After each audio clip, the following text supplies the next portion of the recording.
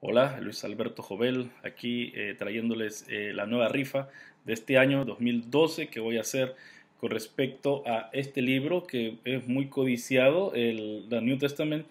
la revisión número 4, ya salió el número 5, pero la número 4 es aún muy viable. Aquí pueden ver que es la número 4 y es un libro de que el cual se usa para traducir la Biblia. Este libro es, es superior al, bueno, este es el texto en griego, eh, junto con el aparato crítico, como pueden ver ahí abajo, ahí abajo está la, ah, aquí está la, el aparato crítico y aquí arriba está el texto, el texto griego.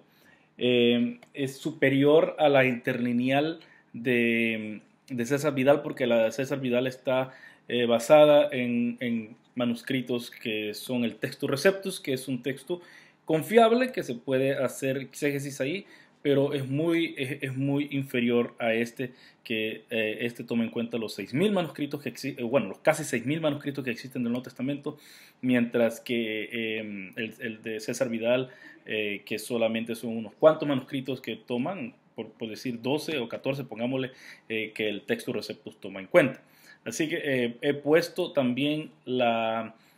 eh, lo que les pido a ustedes que hagan para, hacer, para, tener esto es dejar su, dejar su eh, comentario, o mejor dicho, su, solicitud de que quieren esto. Eh, y al final del, bueno, al principio de febrero voy a hacer una rifa y el que se la gane se va, ese, se va para ese país el, el texto yo les invito a que se hagan miembros del, del, blog, que dejen su comentario en el blog original eh, lo voy a estar eh, poniendo periódicamente para que ustedes vean cómo eh, hacer parte, cómo hacerse parte de, este, de esta rifa. Yo les insto a, hacerse miembros del blog, les insto a hacerse miembros también del, del canal de YouTube y les insto a, a, poner todos estos estudios, a poner las cosas que ustedes encuentran en luisjovel.com, a, a, a, dárselas a otras personas para que ellos también las puedan ver y para que ellos puedan también ser edificados. Muchas gracias por, ah, tomar su tiempo para leer, para ver todo lo que yo hago. Y le, insto a ayudar si puede en patreon.com o PayPal, ahí sale en el ahí, ahí sale en, uh, las formas como usted puede ayudar esto, eh, este ministerio. Que Dios le bendiga y hasta pronto.